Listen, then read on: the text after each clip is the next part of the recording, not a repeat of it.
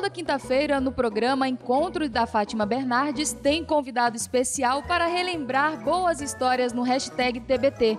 Aí o entrevistado da vez foi Dodô, vocalista do Pichote.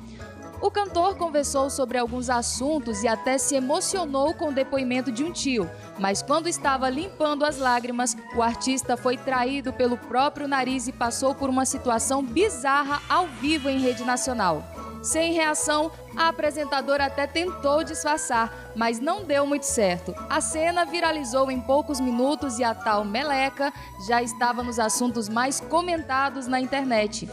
E para quem pensou que o artista ficou incomodado com a situação, se enganou. Dodô usou suas redes sociais e tirou onda mesmo. E ele, como não é bobo nem nada, ainda aproveitou para fazer aquela propaganda da gravação do DVD. Gente, você não sabe o que aconteceu. O quê? O Dodô escorreu é, o, o, o Ai, ai, é, como que é? Catarro do nariz na hora da Fátima. Ai, meu Deus do céu. Gente, vocês não viram? Ah, rapaziada, aconteceu na hora da emoção, eu tava lá. E foi assim, meu. Mas eu aqui, tranquilinho, foi naquele momento. E aí tem aquele povo que vrau na rua, a gente vê, né? Mas tudo bem, tá tranquilo. Aconteceu, virou manchete.